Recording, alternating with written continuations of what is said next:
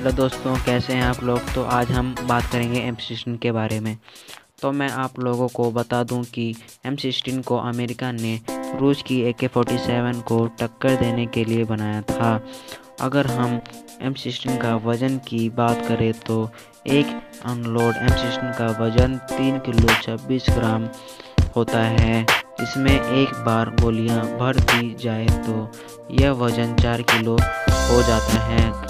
अगर हम इसकी मारक क्षमता की बात करें तो करीब आधा किलोमीटर दूर तक के टारगेट पर यह सीधा निशाना लगा सकती है इसका फायरिंग 800 मीटर तक हो जाता है।